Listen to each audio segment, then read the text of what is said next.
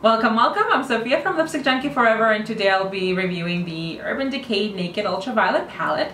I've also created three distinct eyeshadow looks, so if you're interested in seeing how the eyeshadows perform, just stick to the end of the video. Also, please note that this eyeshadow palette was sent to me for review, however all the opinions in the video are my own. So let's talk about the palette now. The palette comes in this beautiful component that's made of sturdy plastic and that's what houses the eyeshadows.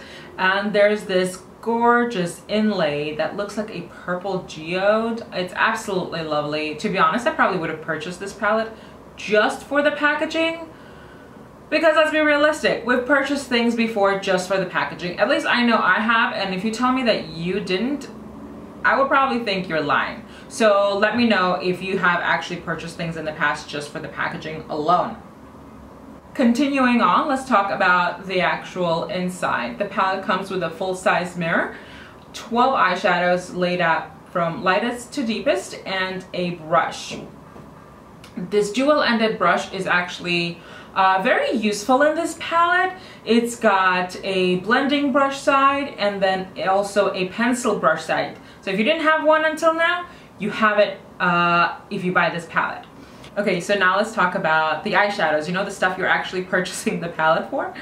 So the palette is made up of 12 eyeshadows. Uh, five of them are in the warm neutral range. Then there is an eyeshadow topper that is minty and the final six are made up of various shades of purple.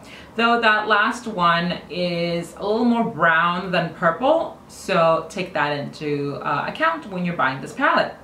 Now that I've shown you the swatches, I'm going to show you the three looks I created with this palette. One of them is the one I'm wearing right now.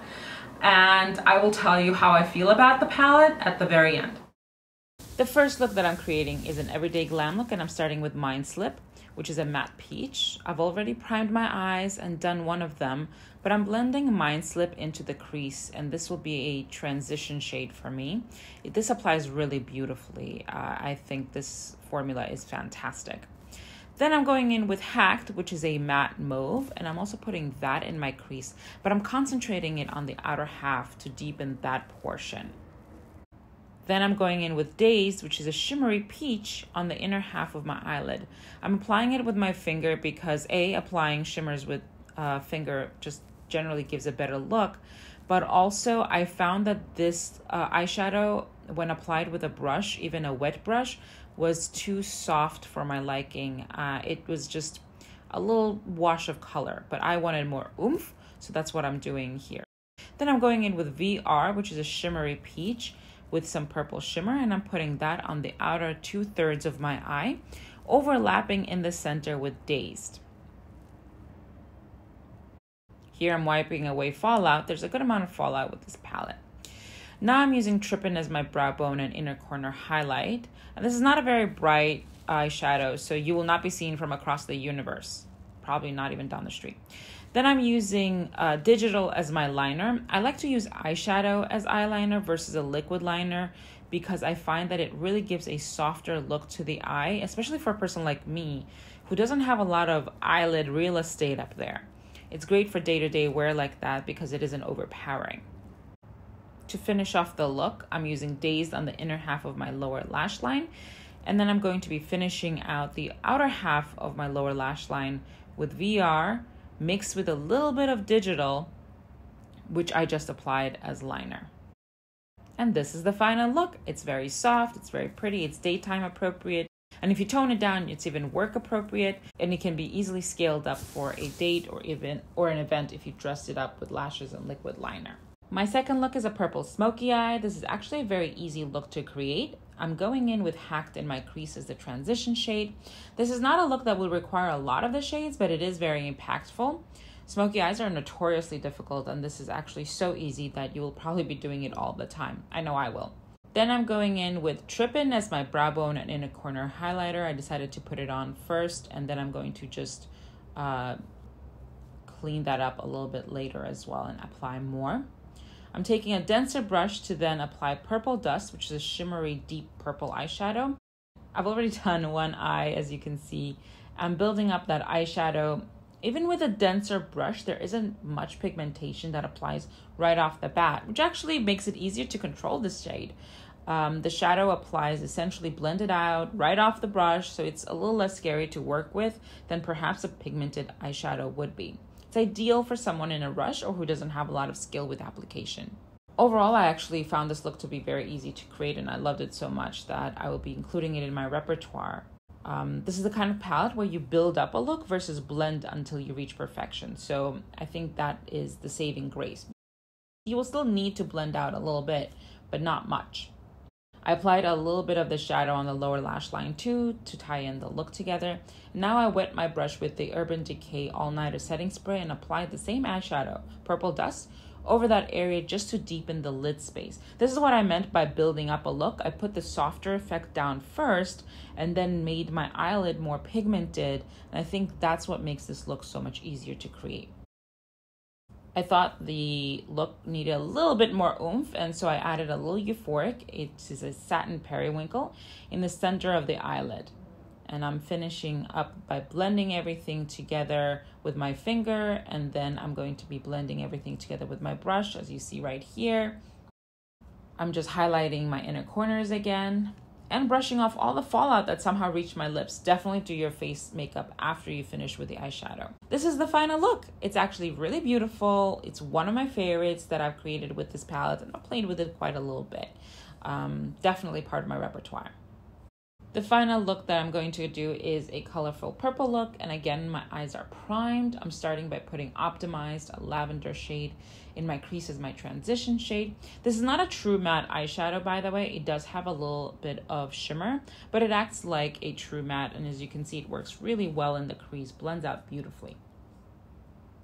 Then I'm taking Warning, which is a pinky purple satin, and I'm just deepening up that crease with a little bit more of that pinky shade. Then I'm using Cyberpunk, which is a satin warm purple, and adding that on. I didn't think it was giving me enough pigment even with my finger, so I took some eyeshadow on my finger, wet my finger with Urban Decay uh, All Nighter Setting Spray, and applied it over my eyelid like that. I think that that was the best way to apply this eyeshadow to get the most impact. Then I'm using the pencil brush that came with the palette in order to do my corners because I wanted it to be precise. And I'm blending out that eyeshadow all into my crease. I'm now going to be using Euphoric in the center of my eye to just give it a little bit more impact. And then I'll be deepening up the corner of my eyelid with Purple Dust. I'm taking whatever was left on my brush on my inner corner lash line to tie the look up with a bow. And finally, I'm using Lucid, which is a minty transformer shade in my inner corner as a highlighter. I love this shade so much. It is just absolutely stunning, and I think it really tied this look together completely. I'm using uh, Lucid again in the center of my eye to give the eyelid a little bit more of like a halo look. And I really love this look once I completed it with eyeliner and lashes. I think it came out really beautiful. Now that I've had an opportunity to play around with the palette a little bit, I have a few opinions on it. First of all, it's not a very pigmented palette, nor do I think it's meant to be a pigmented palette. I think the fact that it's part of the Naked series means that there's a specific end user in mind, and that end user is the type of person who generally leans towards neutral tones, very rarely, if ever, plays with color, but wants to, and is specifically attracted to purple because I think purple just suits everybody. Um, they like the kind of looks that don't take a lot of time to create, you know, they don't want to blend a lot, and they're possibly scared of pigment. So I think that with that in mind, it's easier to understand where this palette is coming from. However, regardless of who the ultimate end user of this eyeshadow palette is, regardless of whether that is a novice or an expert in eyeshadow application, I feel like this palette is just lacking in matte eyeshadows. Very specifically, a deep matte purple eyeshadow that can truly elevate and enhance the looks that you can already create with this palette. And because it is lacking that eyeshadow, I feel like the palette is not um, cohesive enough or uh, versatile enough for, for me. As to whether you should buy this eyeshadow palette or not, that is definitely a decision that is very personal to you. And it wholly depends on what kind of eyeshadow palette you're looking for. If you're looking for a very pigmented eyeshadow palette, uh, where you you know create a lot of deep or powerful looks and you don't mind blending eyeshadow for two days until your arms fall off, this is probably not the eyeshadow palette for you. However, if you're looking for the type of eyeshadow palette that you can use to create 10 minute looks, doesn't take a lot of blending, has some more neutrally toned, has some more pops of color, I think that maybe this is a palette that you should consider. I personally fall in between those two categories. However, I already have pigmented eyeshadows that I can use. I just don't use them every day because I work in the professional sector. What I am missing is a purple eyeshadow palette that is easy to create looks with and easy to blend out. And because of that, I think that I will be using this eyeshadow palette more frequently uh, than not, to be honest. So what do you think about this eyeshadow palette? Is this something that you would buy? If it is, please comment below with a fly money fly. And if it's not something that you would buy, write down stay money stay. Thank you so much for joining me for this review. I will see you next time. Bye. The palette is made up of that. That's what the palette is made up of.